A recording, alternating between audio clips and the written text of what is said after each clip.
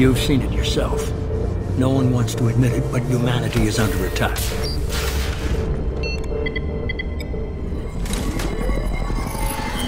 Shepard. Hello, I'm Martin Sheen, and I play Illusive Man in Mass Effect 2. We're at war. One very specific man might be all that stands between humanity and the greatest threat of our brief existence. He's the kind of guy that always stresses that the ends justify the means. If this is a war, I'll need an army or a really good team. Hey, what's up, kids? It's Seth Green, and I am back playing Joker. He's an excellent pilot who's been through a lot. He's just got a little bit of an attitude when anybody questions him. License to screw up, Commander. You heard it straight from the ship. Joker's only romance is with the computer. Thanks, dude. Mr. Moreau does not trust me. It offends him that I am installed aboard his ship's computers. I've been jockeying to get screen time with Tricia Helfer for quite a while now. It's sad that our, our first coupling is in a video game where she's a disembodied voice and I'm a guy with brittle bones. I've had some experience playing robots, and so a computer, uh, you know, generated uh, is, is similar, although um, my Battlestar character was vastly different than EDI. I am the Normandy. I trust him to keep me operational. He trusts me to keep him alive. Hi, I'm Yvonne Strahovski, and I'm the face and the voice of Miranda Lawson in Mass Effect 2. I didn't fully believe you'd be up to the task, and it seems I was wrong. She's been genetically modified to be the perfect woman. Scared, Ms. Lawson? Cautious, Commander Shepard. But interested.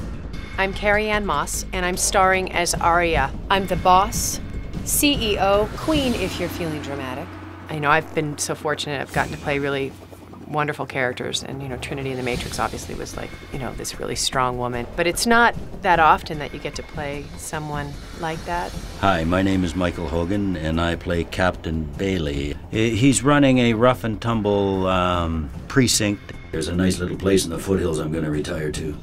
Not that i'm retiring anytime soon. My name's natalia cigliuti i play the character of morinth my lovers spent their last moments experiencing pleasure you can't imagine. It's a lot of fun to, to play someone that's that in touch with using what they've got. It's been a long time, Captain. It's Counselor now. I'm Keith David, I'm playing Councilman Anderson. He's not really good at compromising his principles. It's only fair that you be allowed to speak for yourself the sci-fis are based on, on this world. They get their sources from this world, but some are really visionary. This conclave is brought to order. Does Captain Shepard have any new evidence to submit to this hearing? Tali's achievements are the only evidence you should need. I'm Liz Sroka, and I play Tali. I am Clan Zora, crew of the starship Neema, and you are an idiot. Damn straight!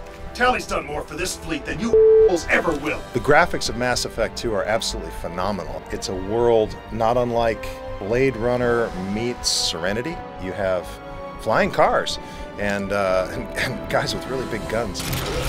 I thought that, you know, space was over and I was done with and I was going to go on to something else, but keeps pulling me back in.